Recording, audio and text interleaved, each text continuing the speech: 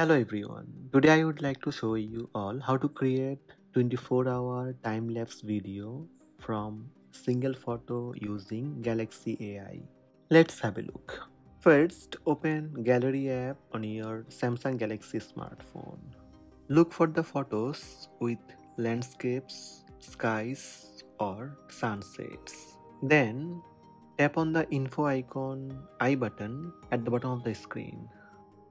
If the image meets the requirements, you will see a 24 hour time lapse option in the image's bottom left corner.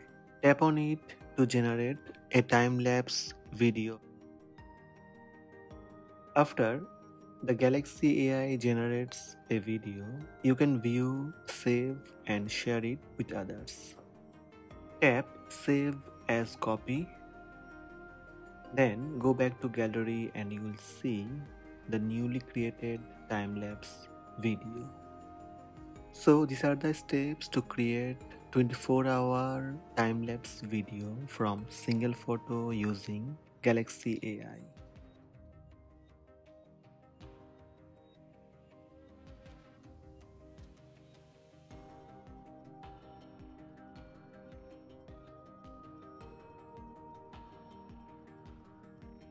Hope this video help you. Please subscribe my channel by tap subscribe button. Also tap the bell icon to receive notifications about all new videos.